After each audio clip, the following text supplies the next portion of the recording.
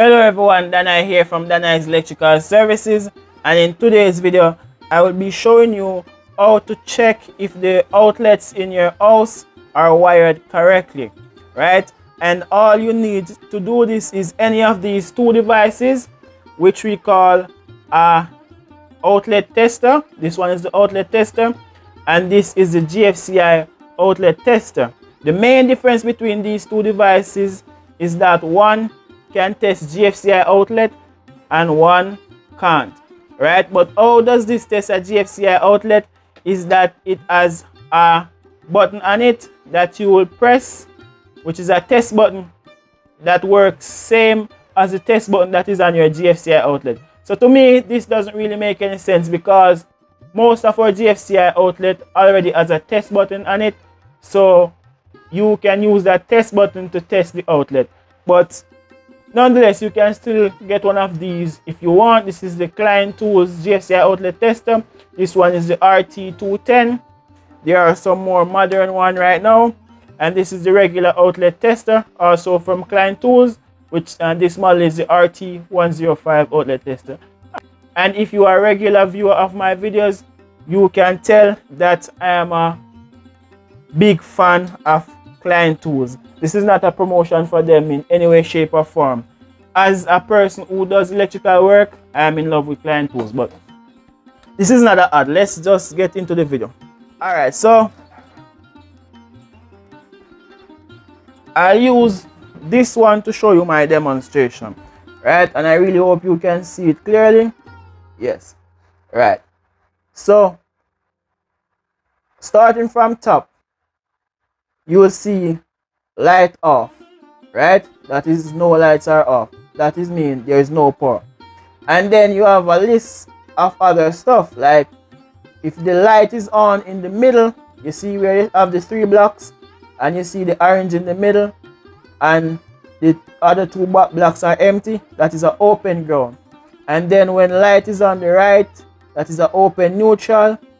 And then when you have no light at all that is an open hot when you have no light in the middle and light on the left and on the right, that is hot and ground reverse. You reverse your hot and ground, right? Where you have the hot that should be ground and where you have the ground that should be hot. If you have two lights on to the left and none to the right, that is a hot and neutral reverse. Where you have a hot, there should be neutral, and where you have a neutral, there should be reverse. And if you have two red lights to the right, that means your wiring is correct, right? And I'm just going to go ahead and check some outlets and see if they are wired correctly. And of course I know that they are wired correctly because I wired them but we're still going to check them for demonstration purposes. So this one is the GFCI outlet tester. And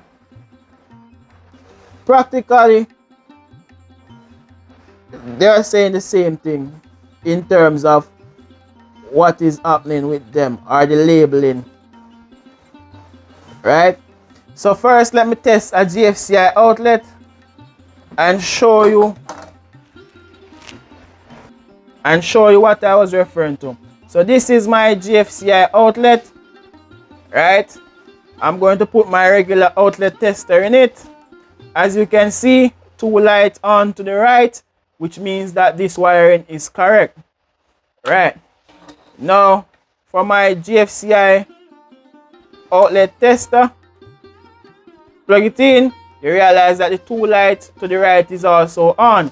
But if we go ahead and press this button, you see our GFCI outlet has tripped, right? And if you can just reset this. But what I was saying is that you, you don't necessarily need that to test your GFCI outlet if it is working correctly because on our GFCI outlet we have a test button. And if you press the test button it also trips and it tells you that our GFCI outlet is working correctly or it is wired correctly. Yes wired correctly and working correctly. So let's just check some other outlet in the house and see if I've been doing a good I plug my ring light out. I plug my ring light out just now. Pour it back on. Anyway, so let's test some outlets. A few moments later. outlet number one and that is correct now let's move on to the other one later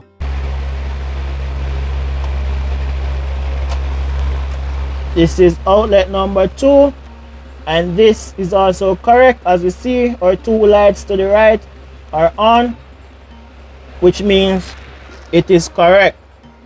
I really hope the fan is not blowing into the mic and you guys can't hear me clearly.